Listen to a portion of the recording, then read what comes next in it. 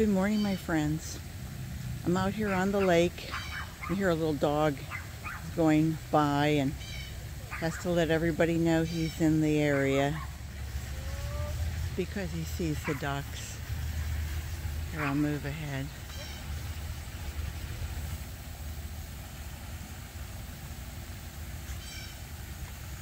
You see how many ducks there are though? Now it's still so early that they're not in the water yet. They're all still just sleeping, I guess, or just haven't really gotten themselves awake yet.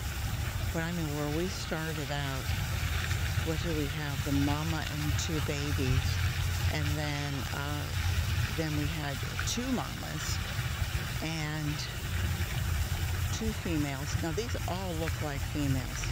They really do but I'm sure there are quite a few young males in the group. Very peaceful, aren't they? Not causing any trouble. Starting to wake up, getting those getting those wings going. Yeah, cleaning themselves, preening. And you can't even tell who's the baby. Remember we had two babies before? Yeah, no more. They've uh, they've become the They've become the teenagers and the young adults. Keep moving along. Just wanted to give you an update. Fountain's running.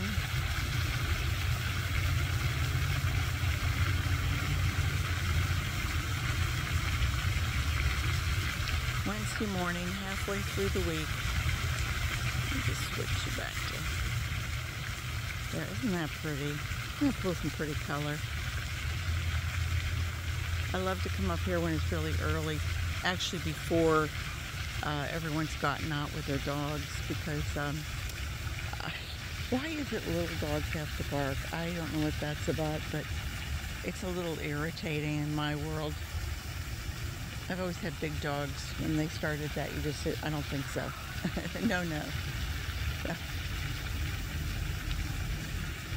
All right, everybody. I hope you guys have a great day. Stay well. Stay safe. Bye-bye.